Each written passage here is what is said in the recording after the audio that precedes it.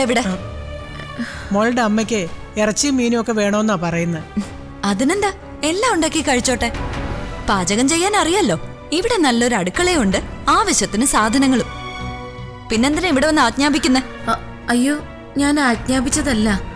വളരെ വിനയത്തോടെയാ പറഞ്ഞത്. അമ്മ എന്തിനാ കഷ്ടപ്പെടുന്നത്?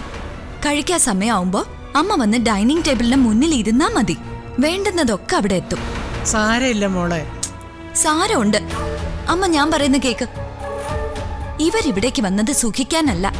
അതിനു വേണ്ടി ആരും ഇവരെ ഇവിടേക്ക് ക്ഷണിച്ചിട്ടുമില്ല. അമ്മ അപ്പുറത്തേക്ക് പോയെ. ചെല്ല്.